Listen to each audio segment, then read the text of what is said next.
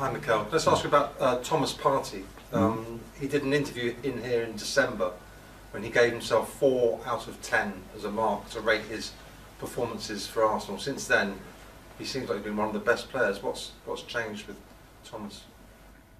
Well, I think when you are honest with yourself, I think it's a great starting point. And when you assess yourself in the way that Thomas did publicly, um, it's a really rare thing to do.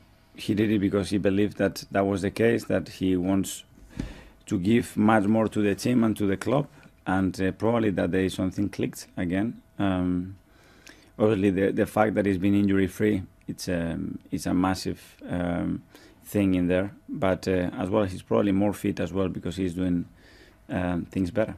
Have you noticed a big improvement since Yes. then?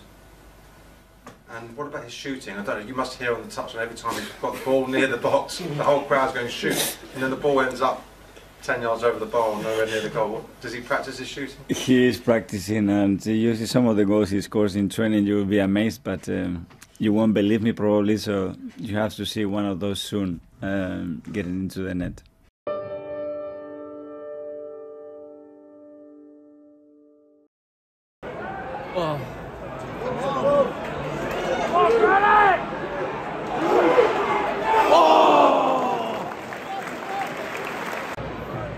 Well done.